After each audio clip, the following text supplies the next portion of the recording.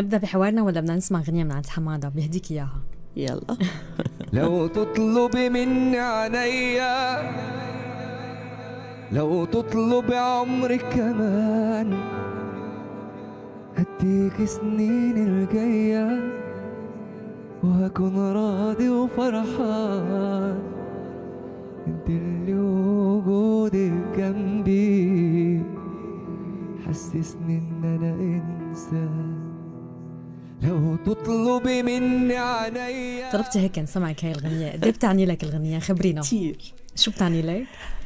أول شيء يمكن أنا مو في سلمى الصغيرة أيوه. فبحس إنه هي الغنية فعلا لو بتطلب عني الله يخلي لك إياها يا رب. الله يسلمك يا رب. بتهديها لحفيدتك يعني. أحلى إيه لسيسي.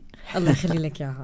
الله يسلمك. بدي طبعا حيي كل حدا قائم بهي الإذاعة من أصغر آه، حدا فيها لأكبر حدا فيها وبقول لهم يعطيهم ألف عافية إنه يوصلوا لمرحلة يخلوا هاي الإذاعة توصل لكل آه، شخص يعني مو بس يمكن بسوريا حتى برات. سوريا بيتابعوها يعني على على الإنترنت بيتابعوها وأنا بعرف. كثير يعني صحيح.